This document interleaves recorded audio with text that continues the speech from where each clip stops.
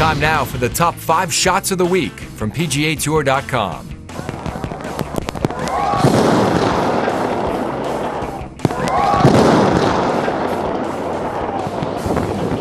And the aftermath? Unfortunately, no one hurt. That was just behind our crane at the 11th hole. And it just made an absolute mess of that tree in that area. That's the 11th green. It is a huge cypress that uh, mm. was just made mincemeat of.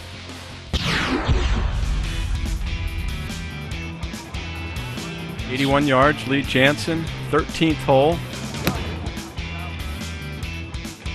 Got it launched high, hits in front of the hole, spins back. Oh my goodness, he's hold it. Lee Janzen makes eagle on 13, gives the caddy a little bump. I'll give that one a Michael Collins bablam.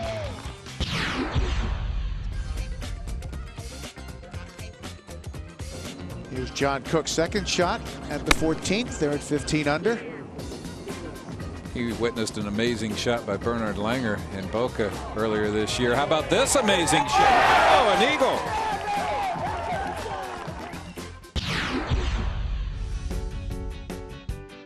And let's go to 15.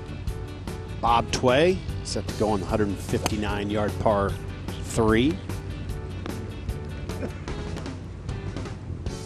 Oh, look at this. Are you no, kidding? No. Oh, my goodness. Jason Bohn's, crucial third shot. I think this is just a nice, comfortable nine iron. Yeah. Anything short right of the hole, I would, I would think. doesn't get a little rush of blood, and uh, that's perfect. Oh, look at this. Close it out. Jason Bohn has just locked it up at the Zurich Classic of New Orleans. He should take off running one more time. Why not? Come on. Come on. We want some reaction. Oh, yeah. There you go. Bring him in. Enjoy. Share it. Wire to wire.